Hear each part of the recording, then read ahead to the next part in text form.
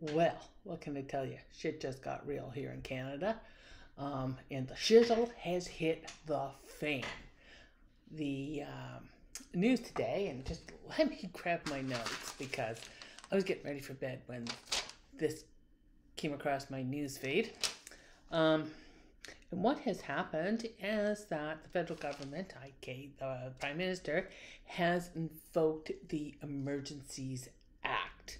And that is a an act in which allows the government to um, enact extraordinary measures that they not wouldn't normally do in order to uh, protest to quell these protests that are um, have paralyzed Ottawa. I mean, uh, central part of Ottawa is under siege.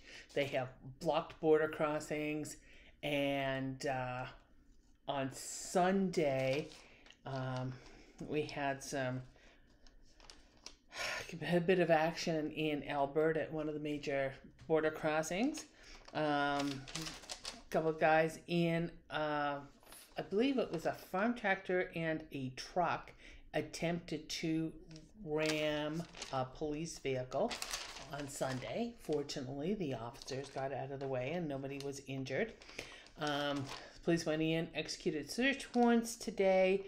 11 people were arrested and they seized any number of uh, long guns, handguns, uh, multiple sets of body armor, um, a machete, a quantity, a large quantity of ammo, and some high capacity uh, firearm magazines. Now, anybody who's familiar with Canada, we don't put up with this shit. We do not have a gun culture in this country. So, uh, for this sort of stuff, like these high capacity fire, they're prohibited. Prohibited. Not allowed. Long guns are regulated. Handguns are extremely regulated. Um, I'm not sure about the body armor. The machete, probably if it was being used as like a farm or logging instrument, would be fine, but certainly not in the back of a truck. Uh, so these kind of this kind of weaponry, we're not going to put up with. Also, uh, thanks to a hacker group, we have uh, found out who has been contributing to one of the wasn't GoFundMe. GoFundMe account was shut down, um, but this was uh, a Christian, and I use the air quotes because I really don't think Jesus said to go and disrupt neighboring governments. I don't think that was in any version of the Bible that I read. So um, I think this is an act of political terrorism. Now, it was funded by Canadians. The majority of the funding came from Canadians, if you're looking at dollar, dollar amount. Like, there's no doubt we have our right wing whack jobs in this country. And I think it's going to be a surprise to a lot of Canadians. Certainly has kind of made me sit back of how many of these um, uh, nut jobs we have running around in my country. Um, some other things here, and just I'm kind of scanning through my notes here because I really did not have time to prep this. Um, so, what is uh, the other things that come out of this particular um, information is it gives the police a lot more powers and it gives the RCMP, which is really our federal force, um, a lot more assistance in uh, being able to help other police agencies that find themselves overwhelmed. So it's one of the things that the uh, municipality of Ottawa has been saying is that they don't have the um, manpower in order to deal with this siege in the downtown area, and uh, the Emergencies Act allows the federal government to declare that protest in Ottawa as being illegal and they can clear it out by whatever means they need to, like um, towing vehicles, etc. Now, the Prime Minister to date has said that they are not looking at bringing in the military. Um, but there is a great continuum of uh, responses that the government can take. So my question is, first question I got for the cards, and I gotta throw it out there, is uh, what is this going to succeed? Is this going to succeed? I mean, I'm old enough, because I'm an old dog, eh? I'm old enough to remember when um, the original version of this Emergencies Act was invoked in 1970. I would have been a kid, like I would have been seven years old. Um, but it was when we had uh, another case of domestic terrorism in which the FLQ, Front de Liberation of Quebec, uh, a terrorist organization in Quebec, who at that point had kidnapped a British was diplomat of some kind. I think he was a trade ambassador. Um, they had kidnapped him and they had murdered a Quebec cabinet minister. And Pierre Elliott Trudeau, our current prime minister's father, was uh, the sitting PM at the time. And he declared martial law. Nobody thought he would because that's the thing that conservatives always make the mistake. They think that because somebody's uh, liberal is that they're soft, soft on crime. Well, yeah, see how soft we are on crime. Um, there's gonna be some people going to jail here. There's no two ways about it. So, anyways, I pulled the cards. Like to know what is is this going to succeed? Let's start right there. Is this going to be successful? And um, first card in the reading is the Emperor. And the Emperor is about all about authority and having uh, rules and regulations and structure. And this is about the seat of government and about the government in power. Um, and certainly it's a very, very strong card. Very strong card. Um, there is an association with Aries and Mars, and so there's that kind of warlike nature is part of the Emperor card. Not again, once again, I'd like to emphasize that this is not a declaration of martial law in Canada. That's not what's being brought up. The uh, second card is strength. Strength. And I think that this is about the whole idea that the government does have the strength that is going to be required in order to um, bring this to an end. Uh, hopefully, with a minimum of damage.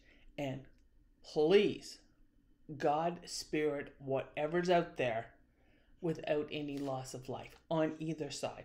I don't want to see police officers hurt, and I certainly don't want to see the truckers hurt. Okay. And the last card, oh my god, three major arcana right in a row. Man, we're talking about some powerful energy here. And that is the star, and that is the best card I could pull today. Holy cow, this is about hope. Hope and redemption and things coming together holding out for a good ending. Um, that things will get better. Things are improving. This is what we're holding on to. Oh, hallelujah. I love those cards. Three major arcana cards in a row. Whoa. And oh my goodness. And underneath the shadow of the deck, the card that's underneath it, we have the Hierophant. And the Hierophant, of course, is about, um, it's the ultimate so it's the ultimate in religion, ultimate in politics, ultimate whatever. This is, you know, the government, not a particular government. It is like the state as opposed to a political party. So yeah, um, what can I say? I mean, one of the definitions of a state is their monopoly on the use of violence. And if you challenge that, which these bozos have, um, I guess they had a swearing in ceremony where they swore in their own police force the other day and uh, supposedly gave them the arrest the them the right to arrest and detain people who violated their rules and uh, yeah i'm telling you governments will not take that shit. And then this whole bunch of uh, arms coming in uh, to the country. No, no, Canadians. Canadians will not tolerate this. Um, and I would say that they have probably turned anybody that was sitting on the fence, like a great deal of people that were sitting on the fence about this, and you know they have the right to protest, are probably, I think, I think so far they are going to lose the publicity war, the PR war. Um, of course, what could screw that up is if there's really heavy-handed uh, actions on the part of the federal government and they make you know martyrs of these bozos. And let's let's get something clear right here right now that this protest has absolutely zero to do with vaccines and mandates vaccines and mandates uh, um, requirements have been dropping in various jurisdictions across Canada, not because these yahoos are out there protesting. It's because the danger from the virus is starting to diminish. I mean, thank goodness we're starting to look at Omicron in the rearview mirror. Now, God knows what's coming down. You know, pick the Greek letter of your choice.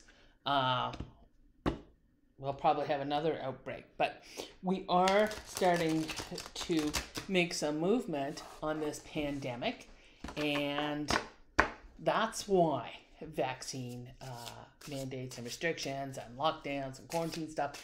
That is why things are being loosened. It is not because these guys are yahoos. Well, my question is Is the government going to be able to keep themselves in check long enough to disperse these dingbats and tell them to, you know, get the hell out of Dodge without um, fueling them. Because this is, like I said, is not about mandates. This is about recruiting. And it's recruiting for the extreme right wing. And yes, we have one in Canada. Um, a lot of Americans don't know this, but the Proud Boys are a terrorist organization in Canada. They tried to infiltrate our military and they were declared uh, a terrorist organization. You're not allowed to fund them, blah, blah, blah, blah, blah. Um, I'm sure there's other ones that are coming uh, into focus of Canadian intelligence services.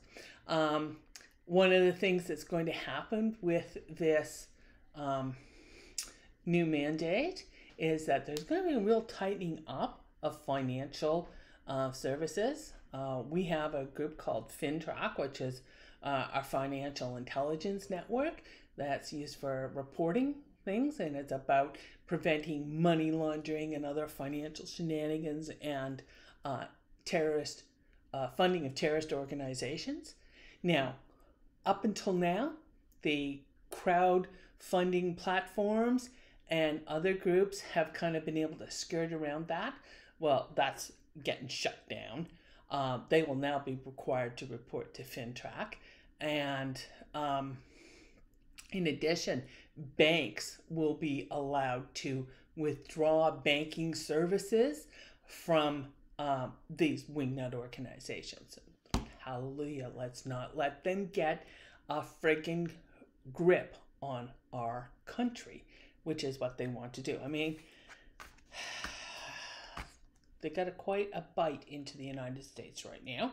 Um, so let's take our lesson from them. Um, so, anyways, is the government going to be able to pull this off without uh, inflaming the passions, if you will?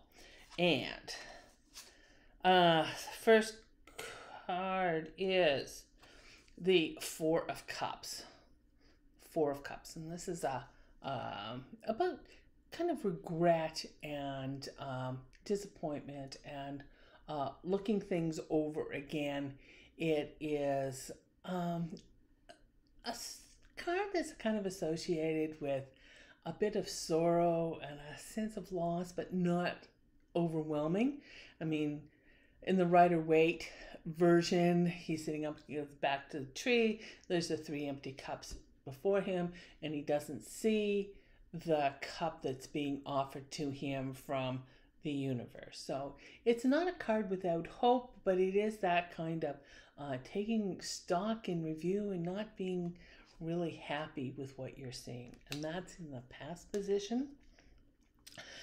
The central energy on this second reading is the King of Cups.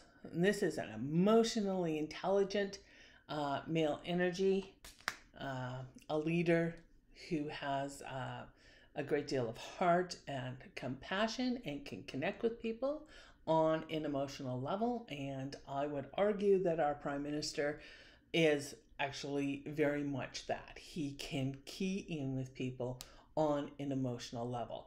And he's managed to keep his cool despite the fact that he is absolutely reviled by the conservatives. Absolutely reviled. And you know why they hate him? They hate him because he was born. His biggest crime in their eyes is that he is the son of, I would argue, one of Canada's greatest prime ministers.